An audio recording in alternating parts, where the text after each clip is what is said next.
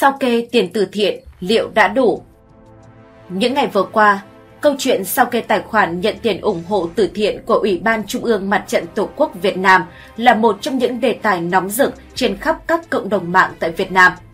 Bên cạnh mục đích tạo sự minh bạch, phương pháp này đồng thời cũng vinh danh các nhà hảo tâm lan tỏa những hành động tốt đẹp đến với xã hội. Một việc tưởng như hết sức đương nhiên này đã gây ra hiệu ứng phụ khó ngờ. Check VAR sao kê đây là một việc để bóc mẽ các cá nhân hoặc tổ chức phong bạt từ thiện, tức là kiểm chứng thông tin về số tiền đóng góp cho mặt trận Tổ quốc đã được cá nhân tổ chức nào đó công bố có đúng như họ thông báo với nhiều người không.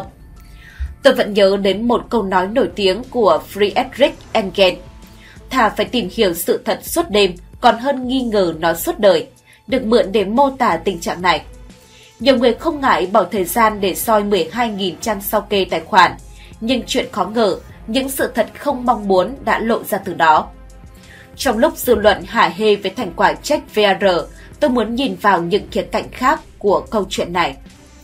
Việc kiểm tra sao kê tài khoản không xấu, nhưng bóc mẽ người khác cũng không làm cho ai đó trở nên tốt đẹp hơn.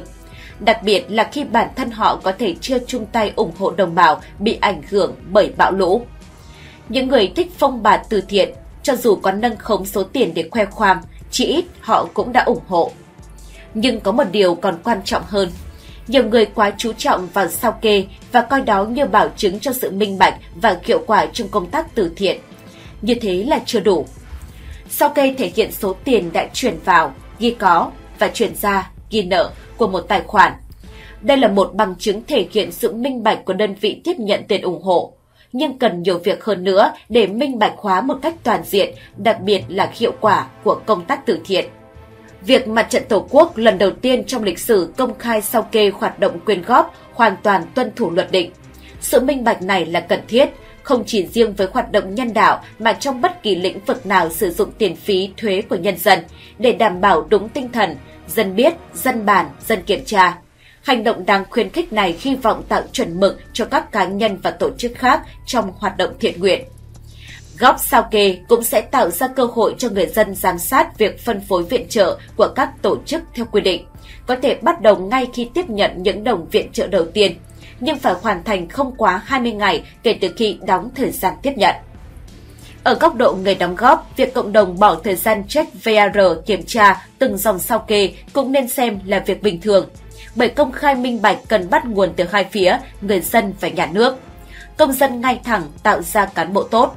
Tôi tin những trường hợp thiếu chính xác về mức độ đóng góp do cộng đồng tìm ra chỉ là những trường hợp đơn lẻ. Nếu cuộc đời này toàn chuyện xấu xa, tại sao cây táo lại nở hoa? Câu thơ nổi tiếng về tình đời của nhà biên kịch quá cố Lưu Quang Vũ đã được bạn bè tôi lan tỏa trong những ngày này.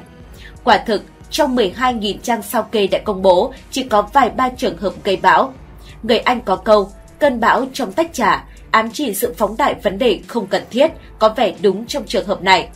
Tuy nhiên, nếu chỉ dựa vào sao kê rồi lan truyền các thông tin thiếu kiểm chứng, như Liên đoàn siếc Việt Nam ủng hộ đồng bào bão lũ 10.000 đồng, sẽ không còn là sự việc trong tách trà.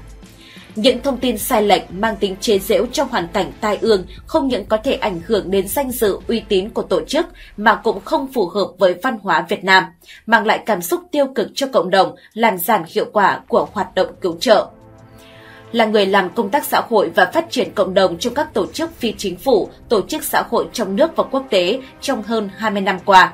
Tôi khẳng định giải ngân tiền tài trợ đến người hưởng lợi sao cho thiết thực và hiệu quả chưa bao giờ là việc dễ dàng. Cách giải ngân đơn giản nhất là cấp phát tiền thì cũng cần có danh sách ký nhận với đầy đủ thông tin của người nhận và tài liệu chứng minh đối tượng phù hợp. Ví dụ, người nghèo thì cần có giấy chứng nhận hộ nghèo, cận nghèo.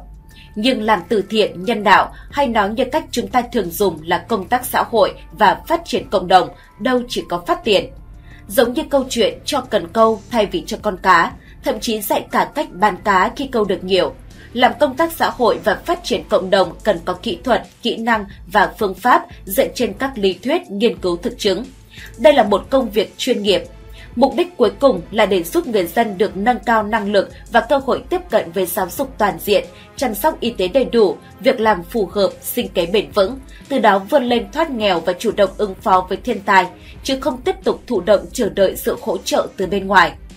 Để làm được những việc ấy cần có nhiều hoạt động khác nhau, từ truyền thông, giáo dục nâng cao nhận thức và thay đổi hành vi, đến nâng cấp cơ sở vật chất, trang thiết bị, từ các hoạt động cứu trợ khẩn cấp cho đến hoạt động hỗ trợ lâu dài, mô hình sinh kế bền vững.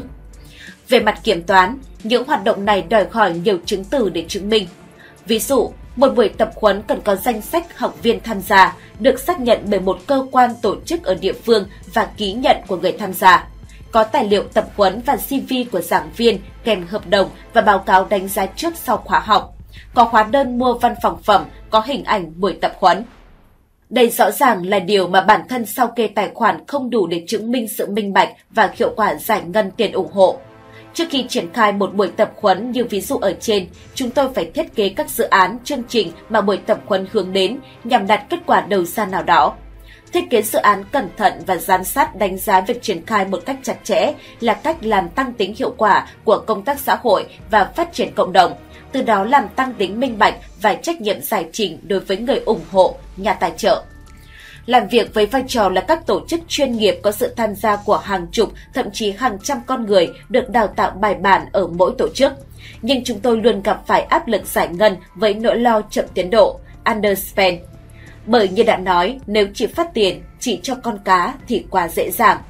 Công việc nhân đạo từ thiện được thực hiện bởi các tổ chức xã hội chuyên nghiệp, các cơ quan như Mặt trận Tổ quốc, Hội chữ thập đỏ đã không dễ dàng như vậy, thì với các cá nhân hoặc nhóm người tự đứng ra thực hiện sẽ càng khó khăn hơn. Sự thiếu chuyên nghiệp, thiếu kỹ năng trong cách làm của một vài cá nhân có thể dẫn đến những kết quả không mong muốn. Trước hết là sự nghi ngờ của dư luận về tính minh bạch trong việc giải ngân hoặc gặp phải rủi ro về sức khỏe tính mạng như từng diễn ra. Nói như vậy không phải để phủ nhận phê phán những cá nhân đang nỗ lực hết mình kêu gọi ủng hộ và không quản ngại khó khăn trực tiếp tham gia công tác cứu trợ nhân đạo ở các vùng thiên tai. Nói như vậy để thấy rằng đây là công việc đòi hỏi tính chuyên nghiệp để hướng tới sự minh bạch và trách nhiệm giải trình. Rõ ràng là để minh bạch hiệu quả của công tác từ thiện nhân đạo chỉ sao kê là không đủ.